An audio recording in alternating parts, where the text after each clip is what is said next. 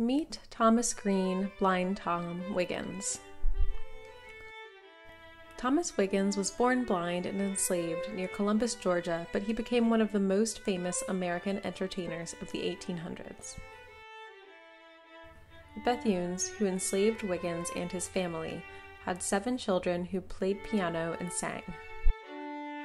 When he was only four years old, he began to play back the music he heard the Bethune children play on the piano.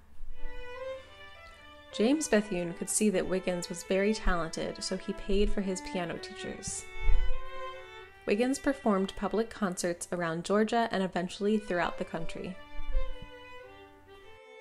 At 11 years old, he was already so famous that he became the first African American to be invited to perform for the president at the White House.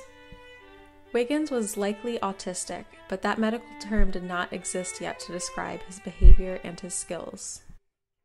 He could play back music he'd only heard once, play difficult pieces with his back turned, and play three pieces at once. He would play one with his right hand, one with his left hand, and sing the third, and they were in different key signatures. He also wrote his own music, which often used musical effects that mimicked sounds he heard in everyday life, such as rain, wind, and a sewing machine. Even though the end of the Civil War in 1865 should have freed all enslaved African Americans, the Bethunes found ways to keep legal and financial control of Wiggins. They kept all of the money he earned from playing thousands of concerts.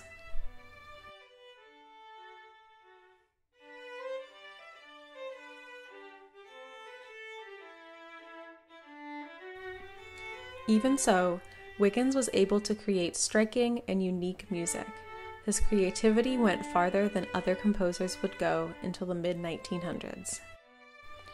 Please enjoy The Boy with Axles in His Hands, composed in 1866 by Thomas Green Wiggins.